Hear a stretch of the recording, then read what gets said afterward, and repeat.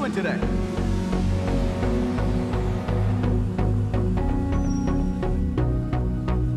Better than when she came in, that's for sure.